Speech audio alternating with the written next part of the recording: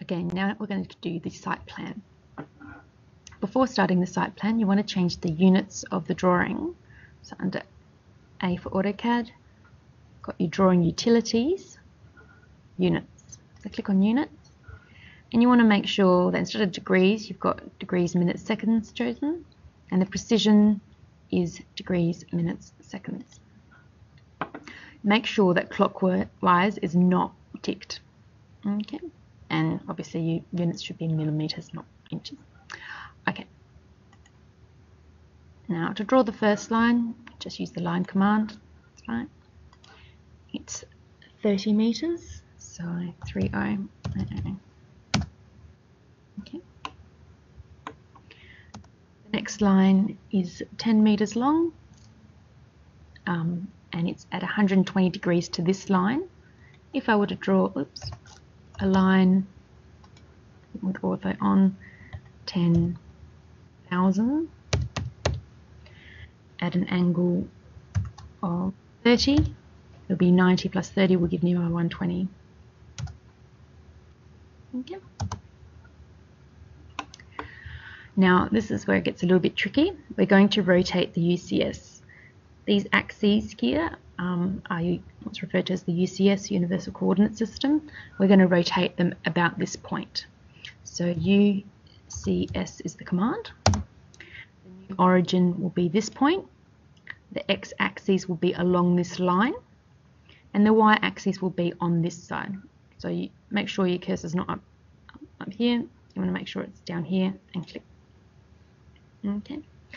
Now we can start drawing the line. Oops, that. Yeah.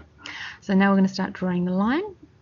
And the next line is uh, 28 190 so at this point the line is 28 190 and the angle a bit more complicated it's 117 degrees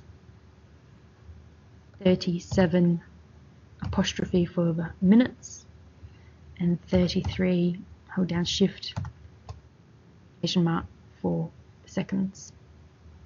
Enter and there's the line. So once I've established the next line I can rotate the UCS again. So UCS this will now be my origin. Anywhere along this line will be my x-axis and on this side I'll have the y-axis so I want to enter the axis uh, the angle in a anti-clockwise direction and it'll be relative to that x-axis. Okay, and so on and so forth. To go back to the original UCS, just type in UCS and you'll notice that world view is the default, just again, and the axes return to their origin um, I, there's the origin zero, but they will always appear in the corner of the screen and that's the right orientation for them. For the dimension style, you need to be in worldview to enter them. Um, so in the previous video we looked at dimensions. I'm going to create a new one based on the current one which is um, BP100. So I'll create a new one and I will call it BP200.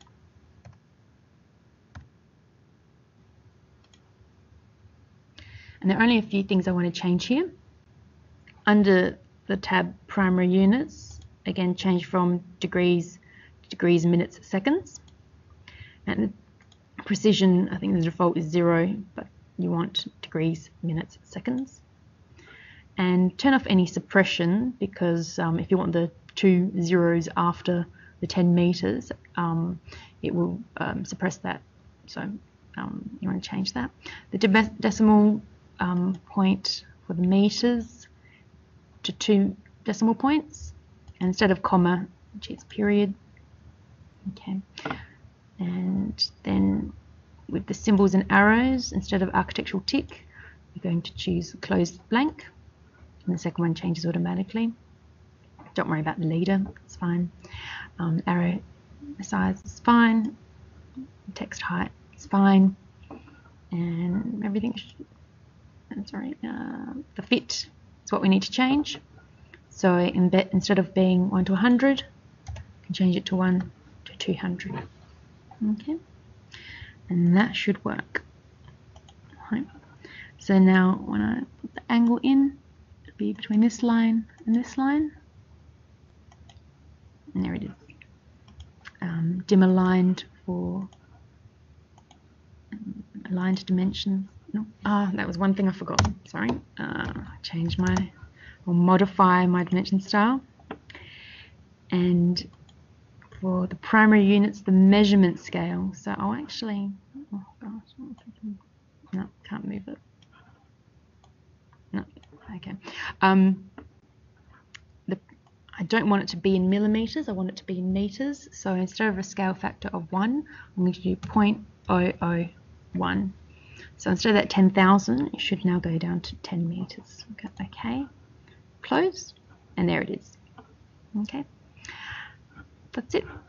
Um, if you have any further questions, please email me and I'll be happy to answer any of them.